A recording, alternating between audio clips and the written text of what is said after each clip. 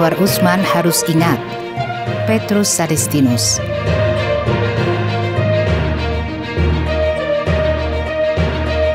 Putusan Majelis Kehormatan Mahkamah Konstitusi MKMK secara resmi memberhentikan Anwar Usman dari jabatannya sebagai Ketua MK.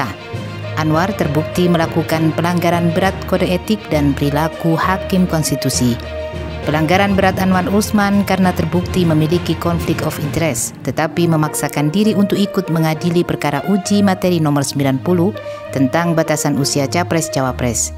Ini membuktikan kejahatan nepotisme sudah menjadi puncak gunung es karena terjadi pada pucuk pimpinan negara, lintas lembaga tinggi negara yaitu Presiden dan Mahkamah Konstitusi.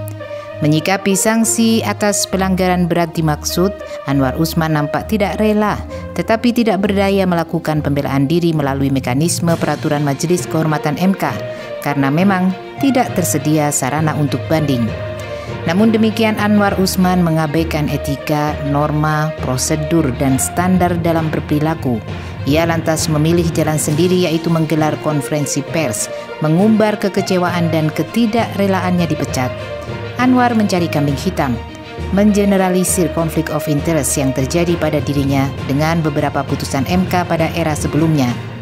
Padahal Anwar Usman tahu bahwa Jimli Asidik, Mahfud MD, Hamdan Zulfa Arif Hidayat adalah hakim konstitusi dan ketua MK yang tidak pernah menjadi ipar presiden dan tidak pernah mengadili perkara uji material tentang konstitusionalitas batas minimum usia capres dan cawapres demi anak presiden.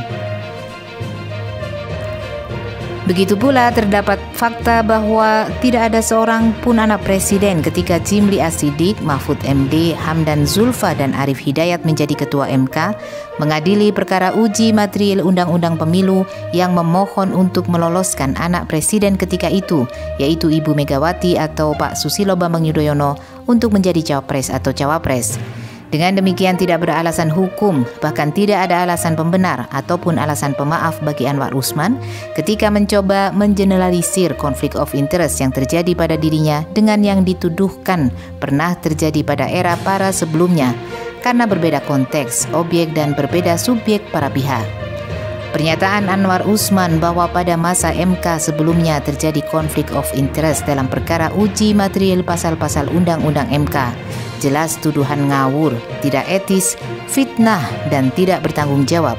Sikap Anwar dapat dikualifikasi sebagai fitnah baru terhadap Cimli Asidik dan kawan-kawan, serta merusak marwah MK dan MK-MK yang bisa membawa Anwar Usman pada sidang MK-MK Jilid 2 menuju pemberhentian tidak dengan hormat.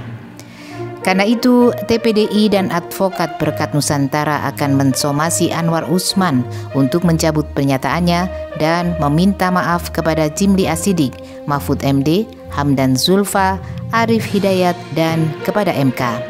Anwar Usman patut diduga mengalami frustasi dan kepribadian ganda sehingga salah memilih jalan dalam berperilaku hingga memfitnah koleganya yang merupakan para mantan ketua MK mendiskreditkan marwah MK setelah dihancur leburkan dalam tragedi konstitusi melalui perkara uji material nomor 90.